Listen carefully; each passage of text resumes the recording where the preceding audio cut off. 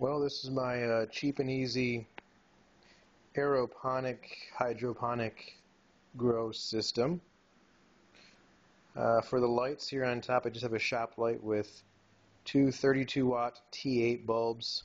They are the, uh, of course, 6500 Kelvin, so a daylight. 18 gallon tote. I have some seeds starting in here of lettuce right now. I also have a uh, sucker from a tomato plant I grew this summer starting out as well.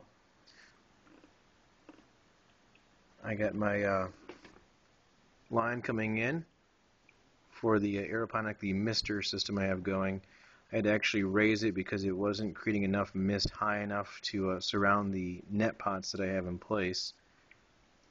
And you can see this. There we go there's a nice mist going so I actually have a, another tub inside this with two gallons of water the nutrients in there and then just the uh, the little mister there going bubbling keeping things uh, nice and wet and moist. You can kind of see a little better there. 18 gallon tote with another smaller tote. I just put some uh, supports underneath it to raise it up. Eventually once the roots get going I will use the uh, larger tub with the uh, air mister to, to uh, continue with the growth once the, uh, again, the root systems get longer on it. So and so that's working out. And as far as a uh, holding the light up, just found some wood stools I had actually.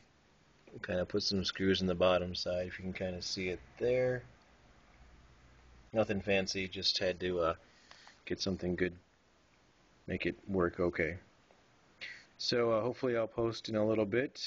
It is uh, in a couple of weeks or so, and maybe this tomato plant will get going. I also have some uh, pepper seeds, uh, bell peppers that I'm starting as well, so maybe we'll see those pop up in here as well. I got to cut a few more spots out for those plants. So